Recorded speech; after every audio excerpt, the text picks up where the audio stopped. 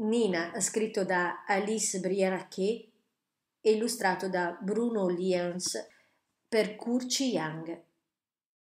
Oh Lisa, mia piccola Lisa, questa sera il sonno non vuole arrivare, ma ecco una storia per te da ascoltare. Inizia come iniziano tante, con un bimbo avvolto in lenzuola bianche e la sua mamma con un sorriso raggiante. Quel piccolo bimbo era nero, quel piccolo bimbo ero io. Non è proprio questo ovviamente il primo ricordo che ho in mente, ma risale su per giù ai tre anni o poco più. C'erano 52 denti bianchi e belli, altri 36 neri più piccoli di quelli, incastrati e allineati come piccoli soldati. Sono dei semitoni, sono dei diesis, disse il professore e io gli chiesi perché fossero così. Perché? Perché sì. Ed era proprio così, ovunque e per chiunque. A solfeggio imparavo che due neri valgono quanto un bianco e la sera sul bus non potevi sederti se eri stanco. Mi sarei potuta arrabbiare o peggio, starli ad ascoltare. Non eravamo altro che uomini a metà sull'immensa tastiera bianca dell'umanità.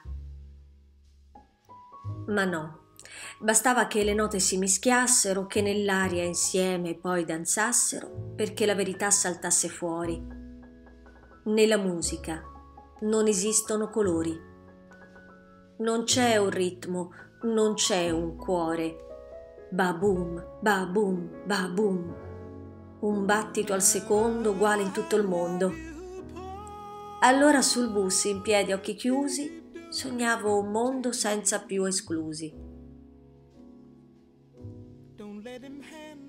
Gli anni passavano io suonavo Mozart, Beethoven, Liszt, Chopin Debussy e tutti i grandi incipriati dei secoli passati.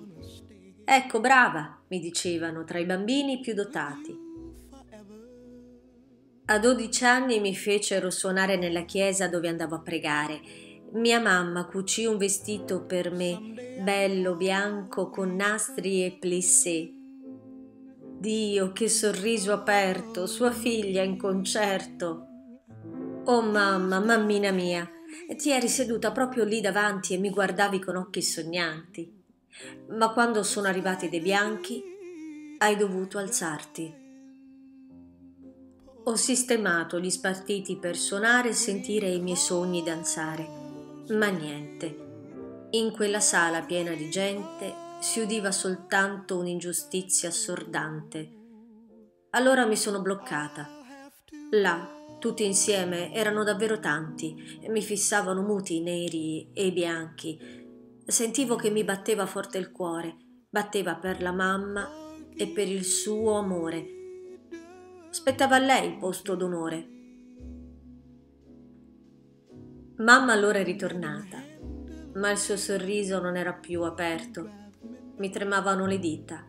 Ero ancora arrabbiata, ma continuavo a suonare e fu un bel concerto.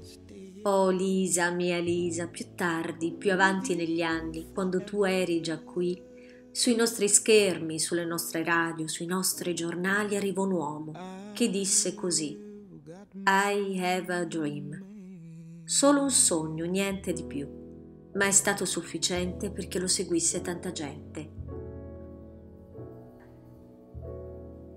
Quel sogno è la mia musica preferita, neri e bianchi insieme, nella grandanza della vita.